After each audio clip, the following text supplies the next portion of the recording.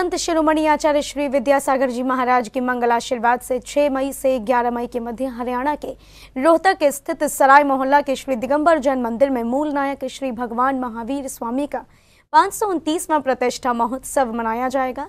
इस पावन अवसर पर रथ यात्रा एवं समवशरण विधान का आयोजन किया जाएगा।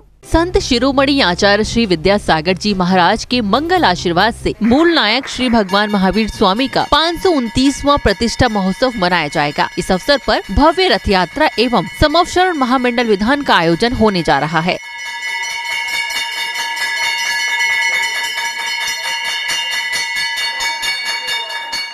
ये कार्यक्रम हरियाणा के रोहतक स्थित सराय मोहल्ला के श्री दिगम्बर जैन मंदिर में 6 से 11 मई के मध्य आयोजित होगा। कार्यक्रम से जुड़े सदस्य ने कार्यक्रम के बारे में जानकारी दी। दिगम्बर जैन मंदिर सराय मोहल्ला रोहतक में छह मई 2023 से 11 मई 2023 तक होने जा रहा है। भव्य समोषण विधान, मूल नायक महावीर स्वामी का महामस्त्राभिषेक नवीन रथ की रथ यात्रा एवं धार्मिक और मंगलिक कार्यक्रम।